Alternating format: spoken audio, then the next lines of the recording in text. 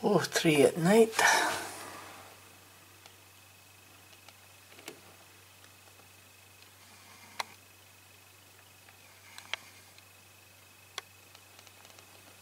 Or Portree harbour at night.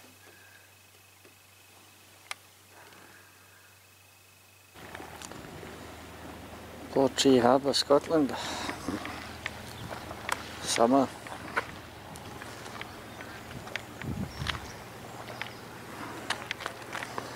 It's a little hotel I'm staying in. Tiny cupboards as rooms.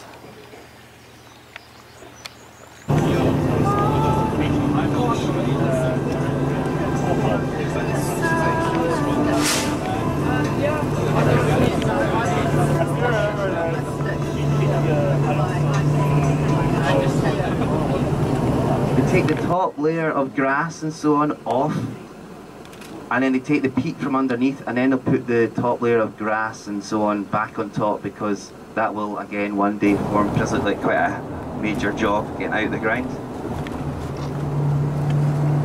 Anyway, we've got a couple of locks here. So Skye, considering how big an island it is, it doesn't really have too many major, like huge lochs, freshwater lochs that is on it. But apparently if you keep your eyes peeled here, you'll see a kelpie. A kelpie. Number dilo.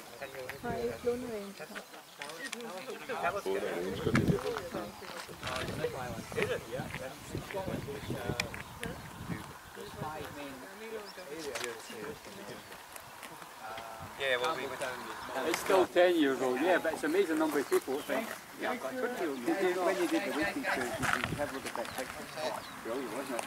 Yeah, he's a Brazilian guy, wasn't he? Was he Brazilian? Ah, he was Katie Chilean, was he? Yeah, I remember South America somewhere, and he, oh, okay. he's got that limitation, you have to come free in Scotland.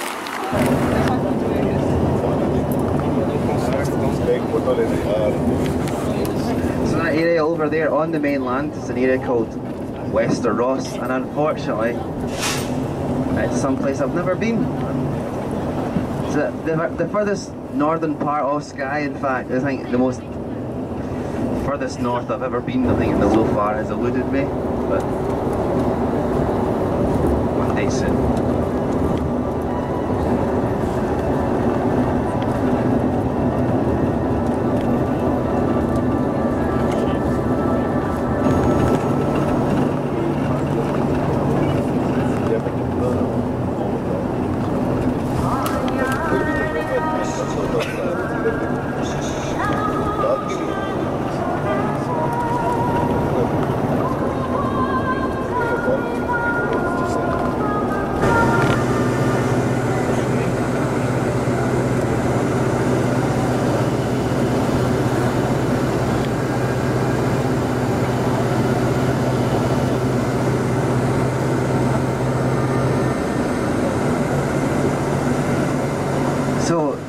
I was talking about sea eagles before.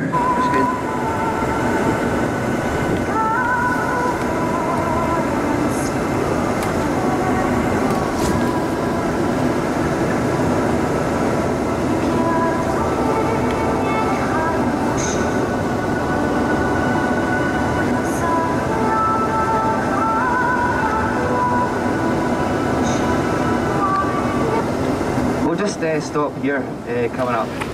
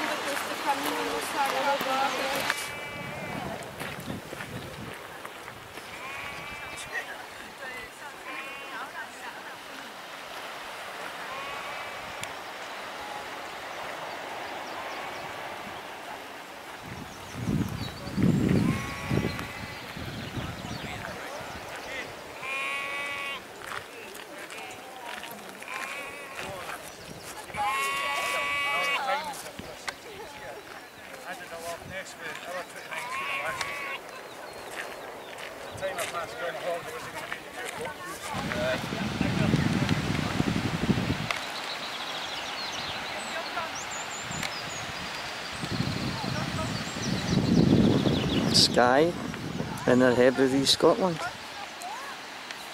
Full of Japanese and Chinese.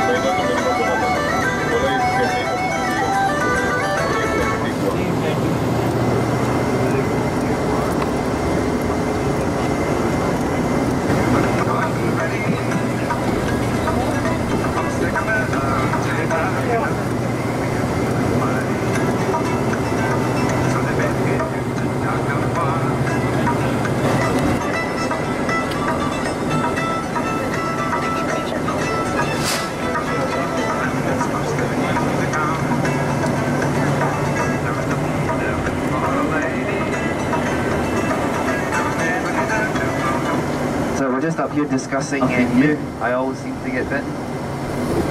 But they are attracted, we're just talking, they're attracted to carbon dioxide, so they're attracted to your breathing. So the answer to that is don't breathe. Uh, but also, I feel like they can operate in winds above like 3 miles per hour. So that's quite good. If it's a real windy, they tend not to be about. But the problem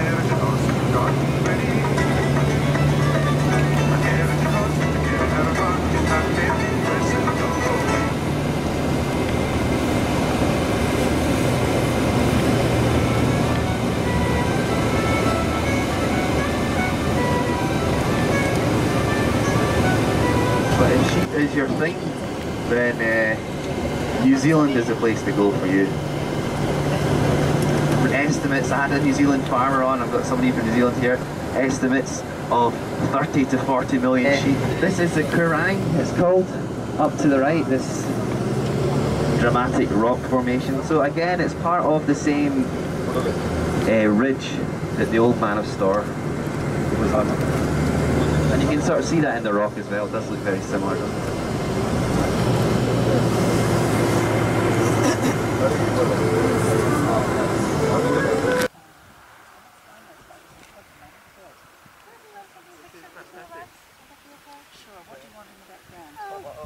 Anything. It'd be hard to, hard to mess it up, I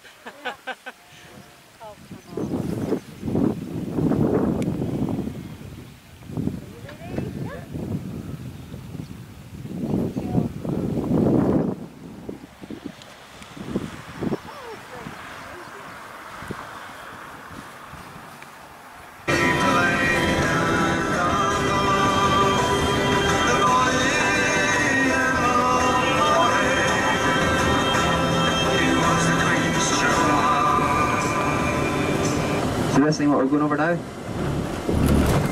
Cattle grid. So it's just to stop cattle from moving from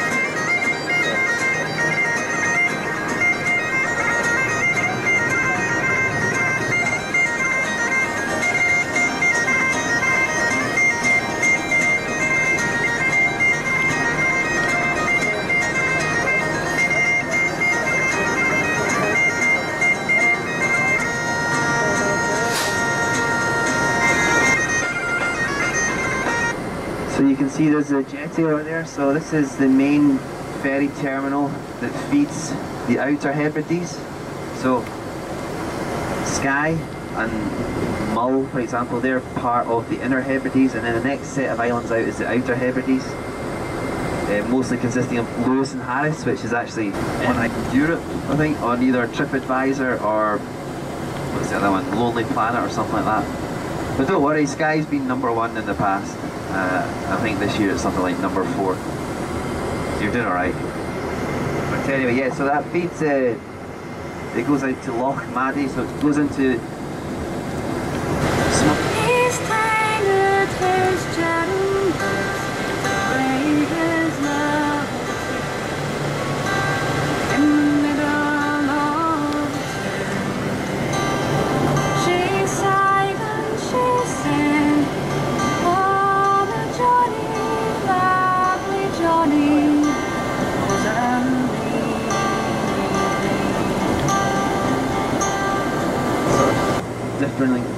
flavours. So when somebody says they don't like whiskey, I just say to them, well, you haven't found a whiskey that you like yet. Because there's whiskey, I love whiskey, but there's whiskies I don't like as well, you know? And uh, the, anyway, the Isle of Islay is an absolute mecca for whiskey drink.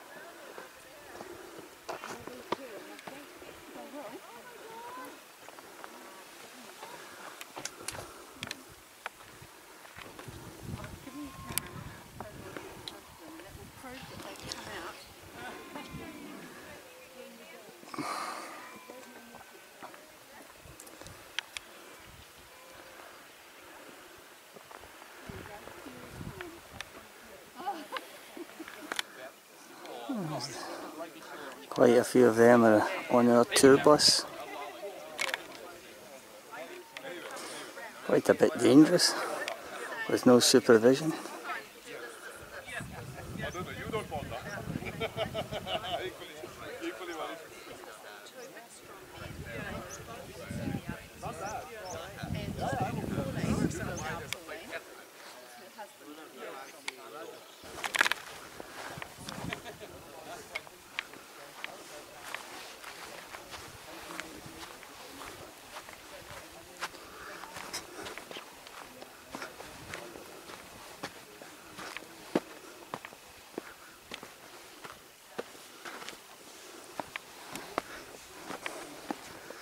The fairy line as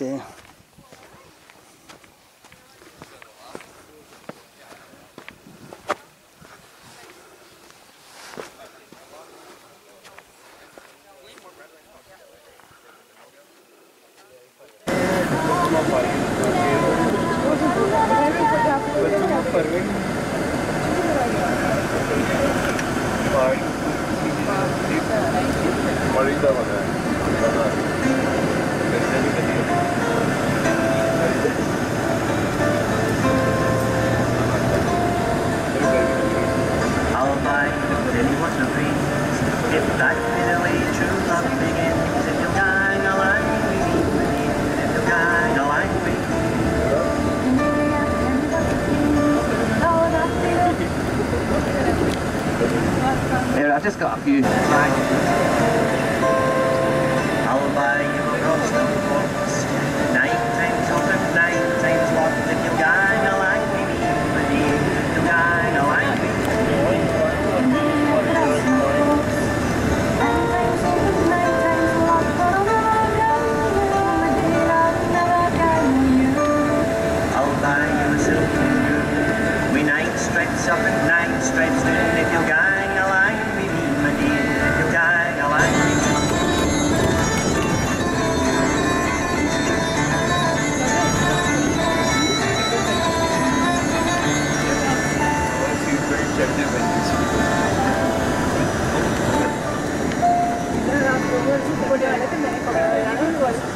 I'll buy you a nice string bell Take all you've made whenever you will If you're going, I'll like with me, my dear If you're going, I'll like with me. Keep your nice ring It's called Edinburgh Shame, which I think is a bit harsh, but uh, on Calton Hill, so if you're looking at the castle from Princes Street, go to the left, which is the east side, And up the, up the hillside you'll see an empty building, basically collars and pillars with no building attached to it whatsoever. And that's called Edinburgh's Folly or the Shame. Uh, they call it, they, they say it's Edinburgh's Shame because the architect who, who built it, he actually ran out of money. And in the end, he wasn't willing to cough up any more to, to complete the building, but in fact, it wouldn't have really cost, uh, it wouldn't have cost that much more to, to build it. So that's why it's called Edinburgh's Shame. But as I say, I think it's a bit harsh because it does look great. There's something quite iconic about it. Uh, I can see it from my flat it as well, which is another good thing. Although I might actually lose that as planning permission for the area in front of my flat, which is a bit of a worry. All Holyrood Park, which is where Arthur Seat is actually situated. There's kind of steps there all the way up to the top pretty much, and you can get up and down fairly quickly. However, obviously a lot of tourists are going there by foot and they'll, they'll arrive via the sort of Parliament building area. And that will take a bit longer, right enough to get up and down, probably about an hour and a half, two hours.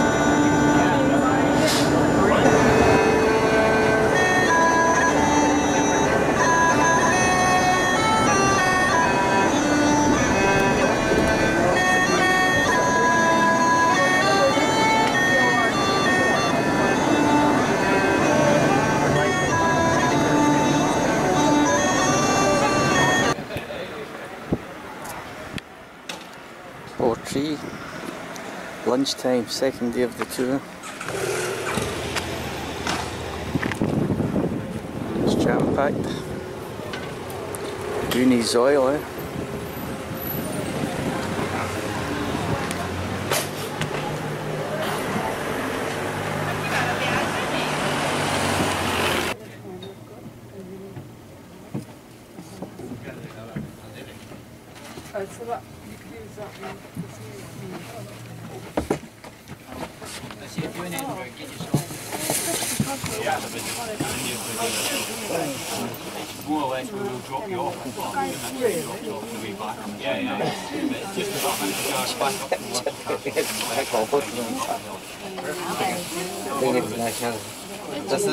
Ist radiert, aber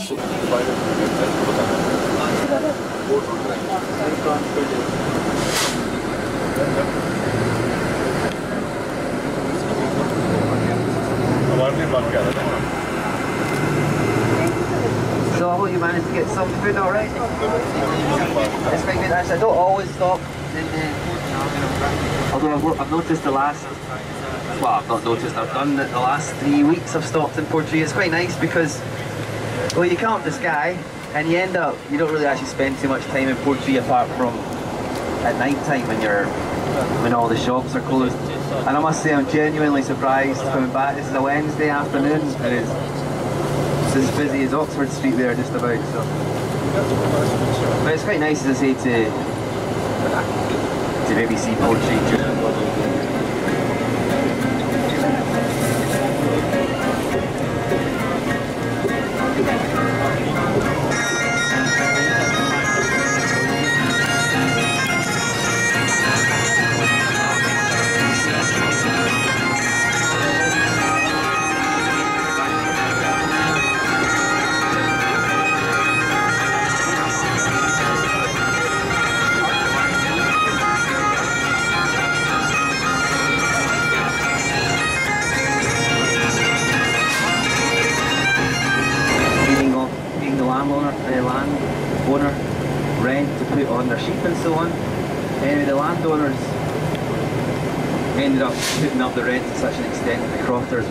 with nothing. So there was a crofters revolt. And I say gunboats were in the Bay of Portree. This, is about 100 years ago, I think just before the First World War. So the army was called on to quell the, the peasant revolt, you could say. And these gunboats were in the, in the Bay of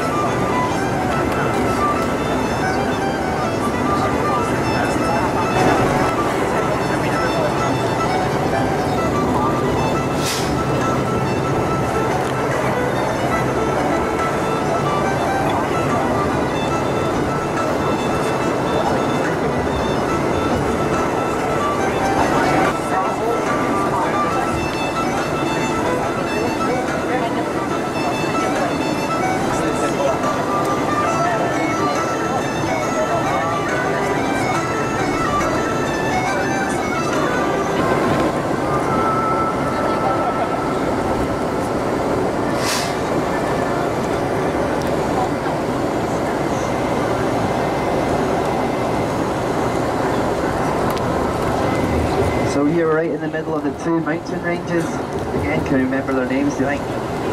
On the left we've got the red, and on the right we've got the black.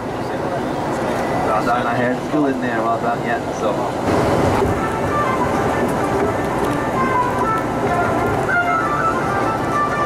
And I was talking about how like uh, rain, you know the one drawback of no rain is lack of waterfalls and rivers and so on. Well this river that we're about to drive by anyway, River Slayer. Uh, during the winter it is a complete whitewash, I promise you. You cannot see any of the rocks or anything at all. And now it's a complete trickle.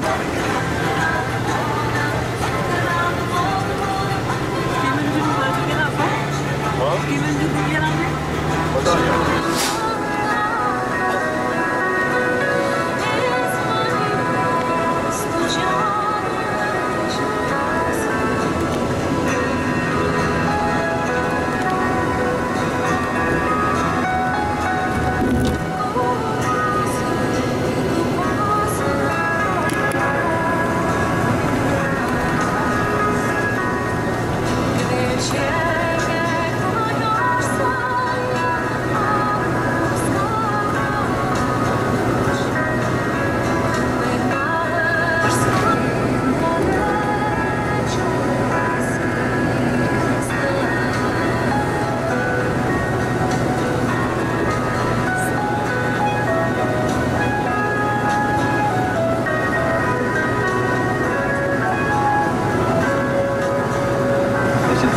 Talisker Distillery is. Normally, whiskies get named after the village or something that they're made in, or the glen, or the river, the stream that they're the, the water comes from, particularly like space Speyside whiskies, like your Glenfiddich, Glenmorangie, things like that. But thankfully, they didn't use this village name, I think. Can I have a nip of Carbost, please? It just doesn't have that, that ring to it, does it?